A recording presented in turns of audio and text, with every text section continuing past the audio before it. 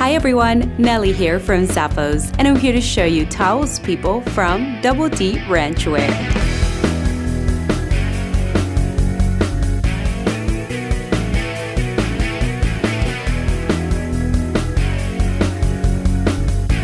These boots have a crusty distressed leather upper with side contour accents and leather lacing detail for added style.